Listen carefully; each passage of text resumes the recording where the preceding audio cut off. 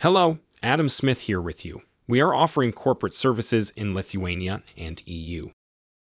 In the following video, you will learn about License of an Electronic Money Institution, EMI.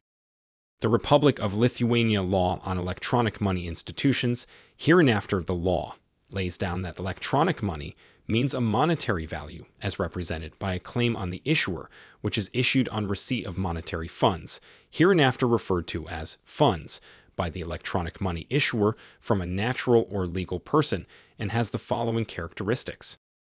Stored electronically, inkle, magnetically, is issued for the purpose of making payment transactions, is received by persons other than electronic money issuers.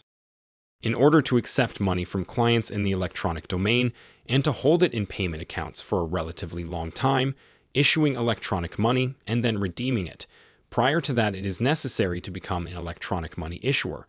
This can only be done by credit institutions, electronic money institutions, EMIs, and some other institutions.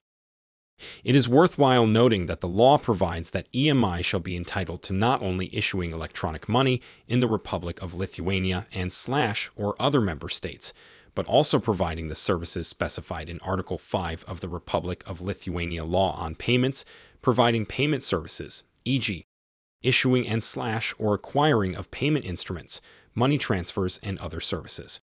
Due to this reason, an EMI differs from a payment institution in that an EMI may withhold client funds, whereas payment institutions cannot do so. The position of the Bank of Lithuania on funds held in payment accounts is available here. If you are required a thorough consultation, please leave a request on our webpage by clicking on the link in the description.